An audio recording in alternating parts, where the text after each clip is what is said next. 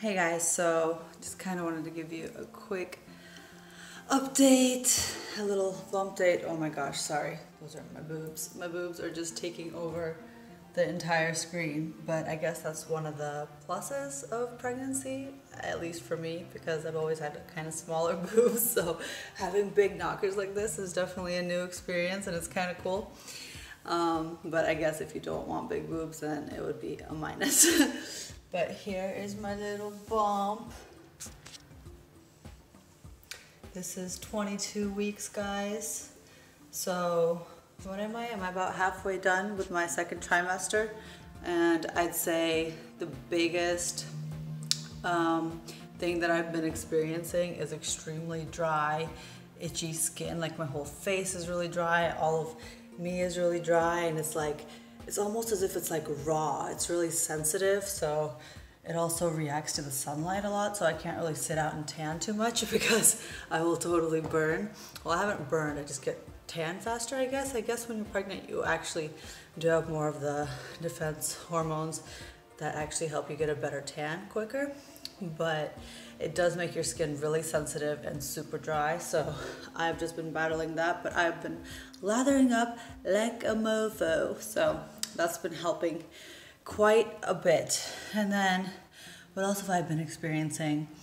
I have been definitely feeling her a lot. She's been moving around, bulging, doing backflips inside of there. What else? I've been feeling pretty good other than that. I've been getting some good workouts and feeling pretty normal other than, you know, the growing stomach situation, which is absolutely normal. But I still don't think I'm that big yet.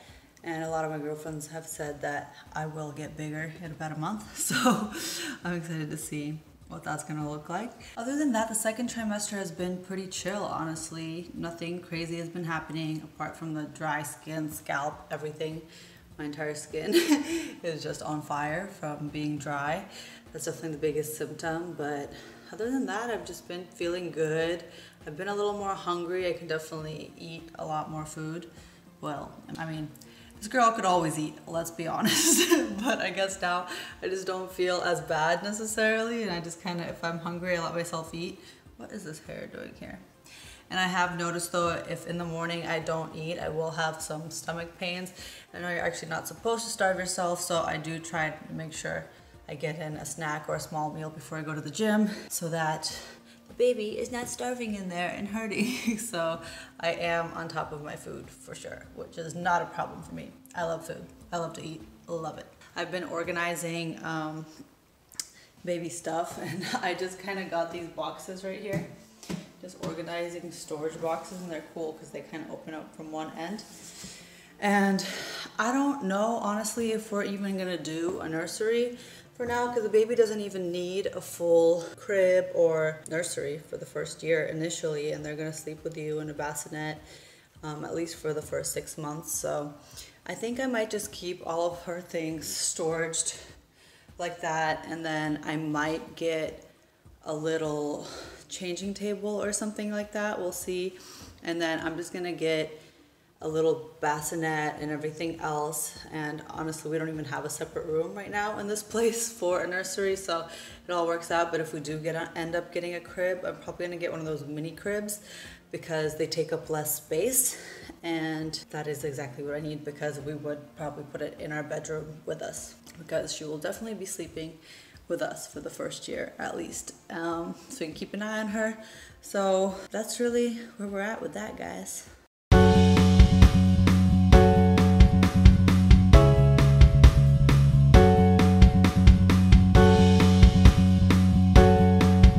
So a little update on second trimester right here. I'm about 23, well, almost 24 weeks. Yeah, about to be 24 weeks pregnant and let me just put this here. Here it is, the bump, the bump, the bump date. Here it is, ladies and gentlemen.